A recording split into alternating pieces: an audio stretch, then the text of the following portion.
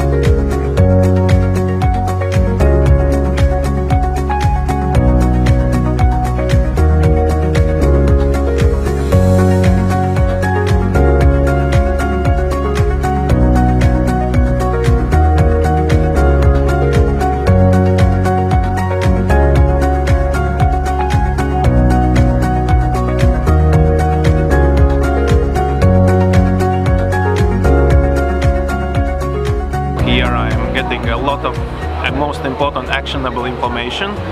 And uh, actually the, the thing is that the information is really that good that you know I missed the after party yesterday. So I'm just went to hotel and implemented one of the ideas. Uh, my company is our cross-border uh, e-commerce business company in China.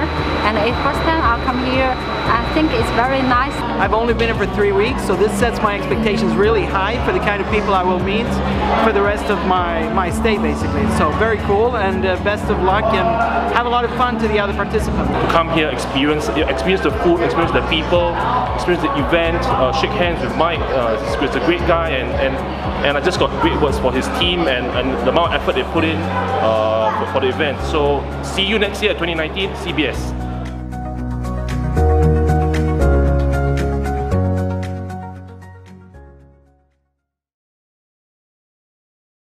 So events are amazing and we're expanding to Colombia, talk about Philippines as well, and also places simply want Thailand, Hong Kong, America. So looking for amazing people to cooperate with and uh, make this make this happen. Let me know.